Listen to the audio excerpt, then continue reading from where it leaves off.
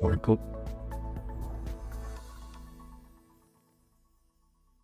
Yeah, looks like.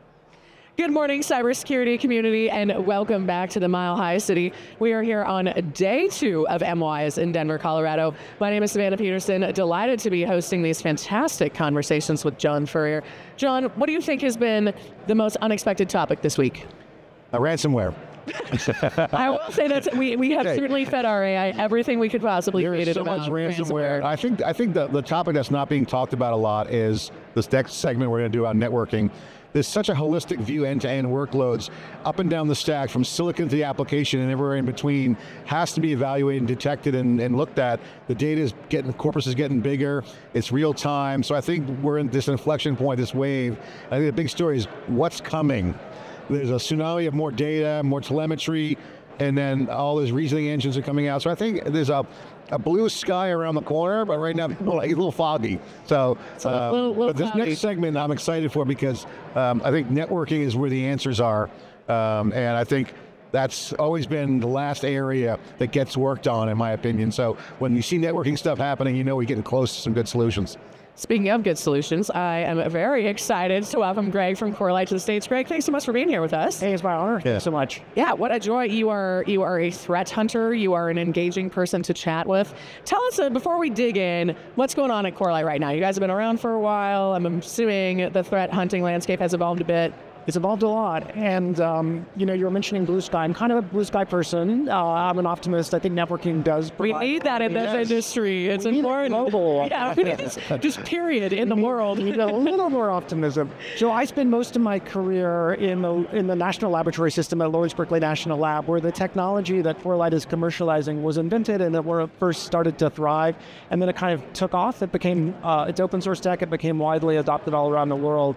And the kind of the big idea of our company is that we're taking this the techniques and tooling that elite defenders were using in, in the national lab system and in DoD and DHS and democratizing it and making it available to the mere mortals of the Global 2000 and further down. And that's kind of the mission of the company, and that's what we're up to. We do focus on network traffic, as you mentioned, uh, and that provides you know breadth of visibility for organizations, and it's a it's an increasingly important part of the landscape for defenders. So, first of all, I love democratizing security. It's been a bit of a theme that we've talked about here a lot. I think it really matters. I it makes my human soul churn when I think of people being left out because of an economic situation or something else, or just not having access to those tools. Languages have been barriers. There's so many things that can stand in the way here.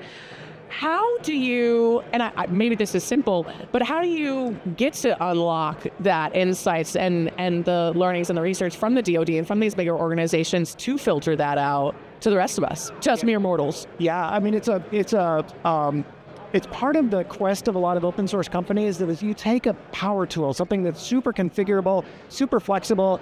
It's sometimes a platform, it's a toolkit, and you turn it into um, a product that's just as powerful but has an easy mode. So it's easy for defenders to make use of immediately. Um, we produce masses of very programmable, extensible data and lots of detections, but we're also really careful to make sure beginners can can make use of that immediately. Um, we have a new SaaS platform that is a big step in that direction. Uh, but the key thing and the tricky thing is to make sure that the export users can still uh, take advantage of what we offer. Great. I want to I want to get into that decade long um, journey you guys had as a startup. Come, Obviously, came out of Berkeley. The tech alpha geeks kind of building out great tech and network uh, visibility. The cloud impact has been significant. I remember when early days on cloud computing, it was like, oh, it's not secure. Now it's pretty damn secure. So, how has the networking paradigm, from your standpoint, affected with cloud? Because they control a lot of traffic in and out of the cloud to on-prem and now that the edge is there. So obviously surface area is a big concern in security. And guess what the packets run on? Network. So Yeah. take us through the impact of cloud and where we are today and kind of what's the current situation relative to security network's position and, and role in that. I think the conventional wisdom a few years ago is that the cloud providers will take care of security and there'll be some kind of inherent boundary between on-prem workflows and the cloud. And most defenders have figured out they need to pay real attention to network security in the cloud. And attackers don't care about the difference. They don't care about Yeah. whether you're in Azure, or GCP, or AWS. They're happy to pivot from your data center to AWS. our customers really appreciate that when they deploy our products in the cloud, they get the same format of data, they get the same sort of normative detections wherever they occur we do adapt our products for the cloud and we enrich our data with context that's important for defenders in the cloud and we can do that differently for each cloud provider and differently for Kubernetes. It's been a journey, but I think the world is waking up to the fact that network yeah. telemetry, network detection is still really relevant in the cloud. Yeah, it'll never, it'll never be not relevant because networks and server networking compute will always be around. Just what form do they shape into? Yeah, the cloud is someone else's network, and there are different APIs for accessing it, different ways to monitor it, but it's still a critical ground truth uh, so that needs to be integrated into so modern. Tell us through the relationship with Google with you guys. You're here at the show. Um, how are you guys working with them? And Google has a good network, so I'm sure you got a great relationship. What is the positioning with you guys and Google, and what does that look like from a product, integration, you know, solution, value proposition? What's the benefit to the customers? Sure. Uh, it began, I would say first it began with, with Mandiant, and so our relationship started with Mandiant even before the acquisition, and there's a lot of common culture and common heritage with Mandiant.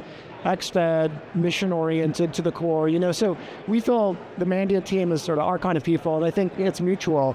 Um, we began working with them to integrate our network sensors into their service offerings.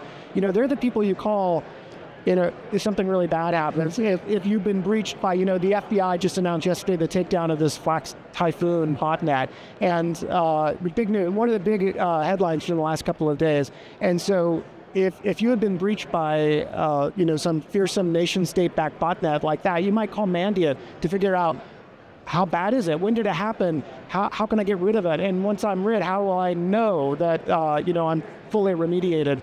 And when they go through that process, they need network telemetry and network data. So they partnered with us to provide the technologies through that entire workflow. Now we're fully integrated into managed defense, one of their offerings, which means we can we can be yes, this is the official integration. Official integration. Congratulations! Very exciting. We're really yeah. excited. And and so when they go to do, you know to do their investigations, they can use our technology, and that technology is fully integrated into their solution stack, including SecOps, formerly known as Chronicle, including VirusTotal, their Intel offerings. It's all one um, highly integrated package. We're excited to be able to deliver together. I love that. You know, you're and, and, it is exciting, and it's nice that all these tools can come together. This actually parlays into something I was going to talk to you about. You mentioned these end-to-end workflows. Doesn't matter if you're in the cloud, on-prem, what's going on. You're able to help folks out. This comes down to a user experience game yeah. and having a really congruent user experience game how much it feels like that must be a priority for you with all your partners and making sure that your customers are able to easily, to your point, have that easy button or easy mode at least, or congruent mode across systems to be able to identify and get context as quick as possible. Yeah, I think this is a very underappreciated aspect yes. of cybersecurity. Um, and it's also maybe we'll talk about AI at some point, but it's a big part of how you integrate AI into tooling. The user experience is almost as important as the AI um, capabilities. Uh, for us, we talk to so many customers who are disappointed at having to rely on dozens of tools. We talk about the chair swivel effect of going from one tool to another. And from the beginning, we've tried to just integrate seamlessly into our customers' preferred architectures. So if it's SecOps or Chronicle, that's great. Also, um, there are other potential SIEMs or XDRs or data lakes, and we want to make sure that the data and detections we produce are valuable wherever and however customers want to consume them. I don't want to speak ill of potential competitors, but often they don't have that view. They want to sort of lock up the eyeballs into one interface. I, th- I think because we were operators and we consumed a lot of uh, you know products 15 years ago, um, we don't believe that's the way to build Give some examples of some customer wins or examples of where you guys have made an impact and influenced the outcome of with your data and your intelligence from the network side. Give some uh, use cases, share with us the key areas and, and, examples. Yeah, there's a few sort of classic use cases. One of them is just ROI, TCO. Like we can take legacy network sensors, four or five different kinds, and wrap them up, integrate them into one traditional sensor, and we can um, we can basically I that in itself is a really great Okay, no one wants to deal with their legacy systems and make it easier, and if you're going to do that for me, that's awesome. Yeah, it's not kind of the sexiest thing we can talk about. Um, it's not directly confronting with like Very pragmatic. Yeah, and again, we're former operators, so we like yeah. that we could say we'll take out four of those legacy tools, and you'll have one highly modern system that's data centric. So that's one. We also accelerate SOC workflows. We help the process of investigating detections be a lot more satisfying, like emotionally to the SOC analyst, and also just a lot faster, which is satisfying diversifying to the leadership Yeah. chain as well. Um, we improved detection coverage. So, uh, like in the last week, I've talked to CISOs of a major utility, a major bank, like top 10 in, in both uh, globally in both sectors. They're both um, really concerned about visibility gaps. They know they have significant gaps in coverage, and we help close those gaps. So that's another use case. So, uh, you know, we do a lot of these cube interviews. We get a lot of data, very horizontally scalable observation space, as we call it. Yeah. Talk to a lot of experts. And the whole Gen AI wave, you hear all kinds of cliches. Um, security for AI, AI for security, networking for AI, AI for networking. Um, and there's some, there's, there's a double-sided coin. I get that. It was not, I mean, it's cliche. I'm not really getting down on it. I appreciate that. But networking's hard. There's a lot of in, installed base.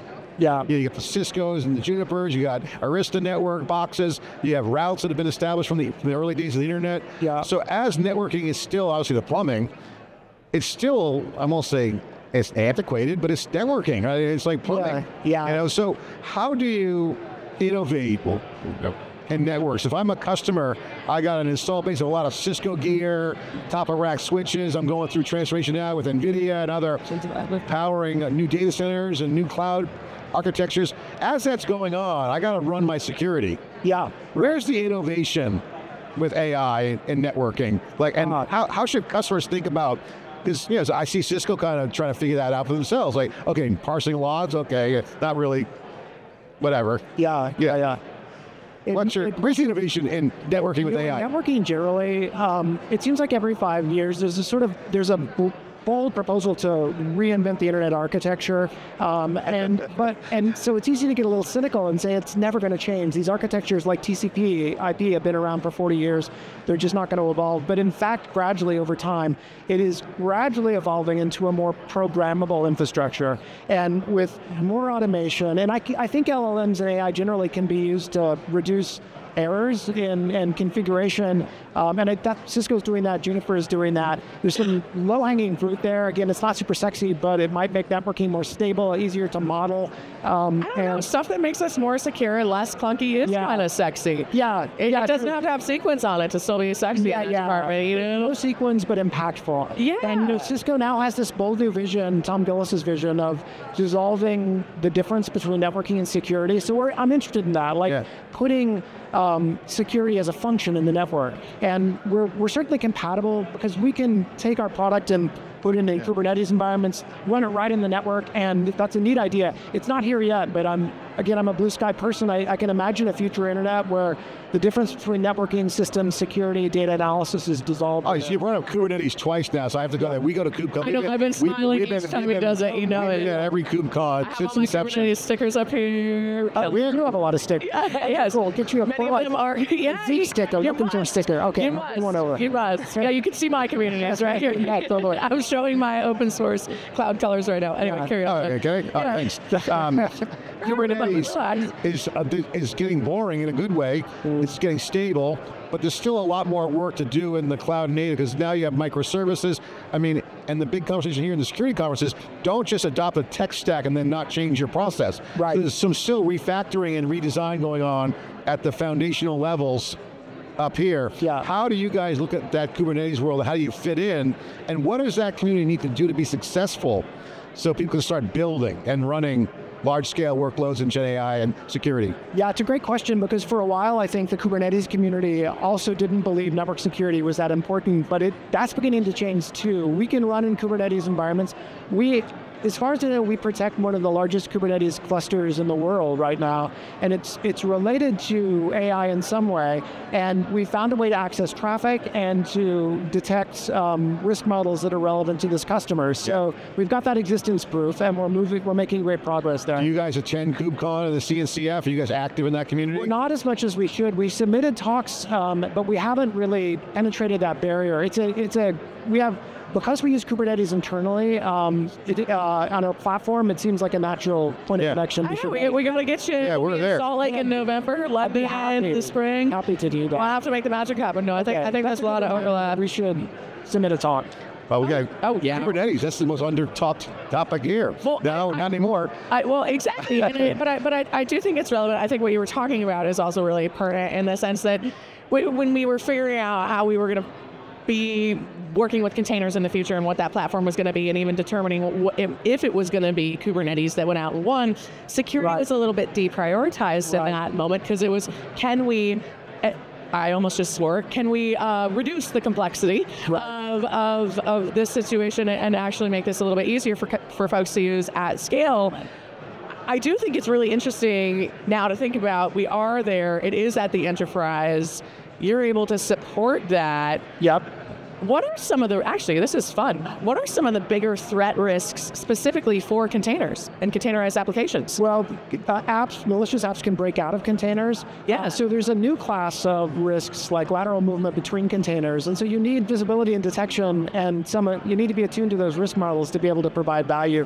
There's also just a lot of a lot of Kubernetes clusters host web applications that are under constant attack, and so you can provide visibility and even, in some cases, depending on the architecture of decrypted traffic, because Kubernetes often has to decrypt to load balance.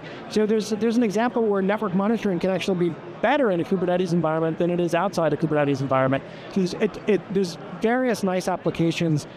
I'll say one more thing. Because our data is open source in origin, it's programmable, it's extensible, it's easy for us to add Kubernetes context to the logs we produce. We can say, this, this uh, log or this detection can, um, can append the pod ID or other Kubernetes metadata that makes it a lot easier for an incident responder to say, oh, I know exactly what caused that. So that's the, that's the beauty of open source and of a community working together. Two follow-up questions there because I, I love open source and then I have actually from our community we had a great question come in this morning on LinkedIn. How important is the open source community to security and our cybersecurity future? I think it's critical. I mean, a lot of the fundamental building blocks of uh, products, um, and that's and, and also of civil society, um, come from open source communities. Um, it's also the culture of open source that's important. It's not just the development model, but it's the idea that we're in this together. We have common interests. We can form common cause. It's easier for us to do that than attackers because they often have the exception may be nation state attackers. Set them aside for a second. But for the criminal attackers, they're also competing with each other. And so, as defenders, if we can just break down some troublesome cultural boundaries or barriers, we can work together. And open source is one mechanism for doing that. A third thing, open source is really good for people from non-traditional backgrounds who want to advance their careers because they can get access to completely free tooling, technology, and training um, to go faster. And, to, and, and our CISO, Bernard Brantley, is a great example of that.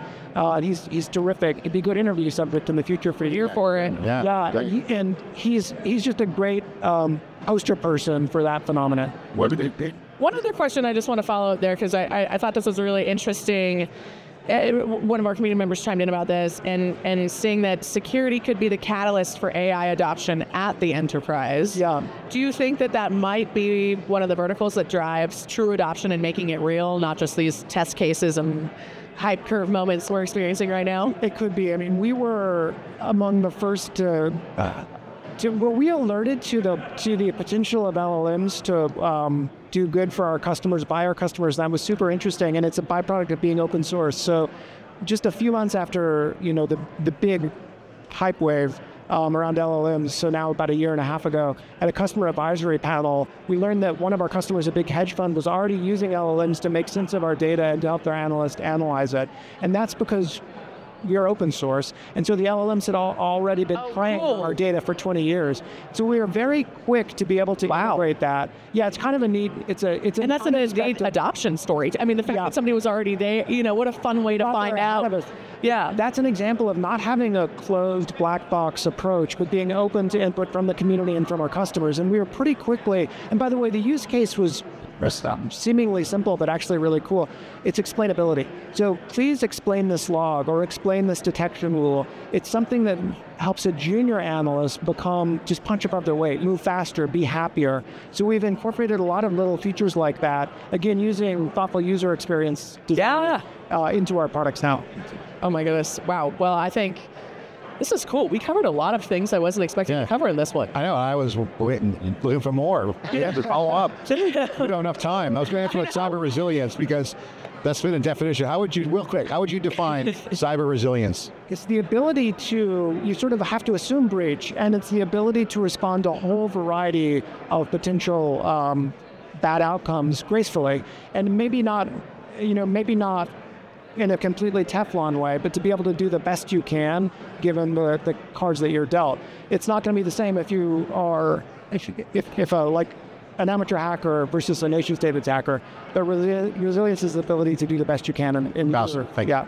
But we're all just trying to do the best we can. Exactly. You're clearly leading the way. We love to hear more about you and the team at Corelight. We got to get you to KubeCon. Hey, I'd like to do that. I I will bring you like it to be really too. fun. Yes, please do. Yes, please do. I will. I will display it proudly. We really appreciate you taking the time. Thank and you. dropping some serious knowledge, John. What a fantastic interview. We Absolutely. could have sat here for an hour with it Yeah. easily. We went off down the KubeCon rabbit hole there. I know. I know. It's all I good. got a little excited. I got a little excited there. It happens. it happens. I hope you're all getting excited at home or wherever you might be watching on this beautiful rock. We're here in Denver, Colorado at My name's Savannah Peterson. You're watching theCUBE, the leading source for cybersecurity news.